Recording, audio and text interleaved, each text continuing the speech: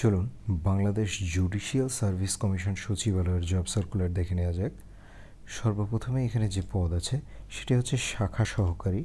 পদের সংখ্যা দুইটি। বেতন স্কেল দশ হাজার দুইশো টাকা থেকে শুরু, শিক্ষাগত যোগ্যতা, দ্বিতীয় শ্রেণির স্নাতক ডিগ্রি অথবা সমমানের শিক্ষাগত যোগ্যতা, কম্পিউটার পরিচালনায় দক্ষ ব্যক্তিরা অগ্রাধিকার পাবেন।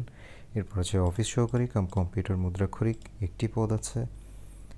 যোগ্যতা, উচ্চ মাধ্যমিক অথবা সমমানের শিক্ষাগত যোগ্যতা সম্পন্ন এবং কম্পিউটার ব্যবহার সংক্রান্ত word processing, data entry typing এবং ইত্যাদির গতি এবং বাংলায় প্রতি মিনিটে সর্বনিম্ন বিশ শব্দ এবং ইংরেজিতে বিশ শব্দ এই টাইপিং স্পিড থাকতে হবে।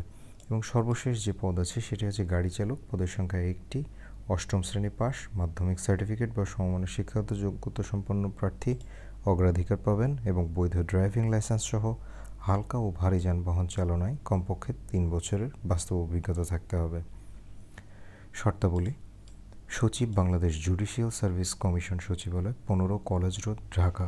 এই বরাবর তিন এগারো দুই হাজার উনিশ, অর্থাৎ তেসরা নভেম্বর দুই হাজার উনিশ, এই তারিখের মধ্যে আবেদনপত্র দাখিল করতে হবে।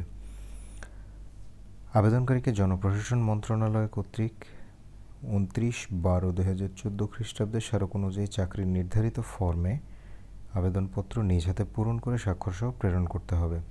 যে ওয়েবসাইটের থেকে আপনারা আবেদনপত্র ডাউনলোড করে পূরণ করতে পারবেন, ওয়েবসাইটের লিঙ্কটি ডিসক্রিপশনে দেওয়া থাকবে। সেখান থেকে আপনারা আবেদনপত্রটি ডাউনলোড করে প্রিন্ট আউট করে আপনারা প্রেরণ করবেন।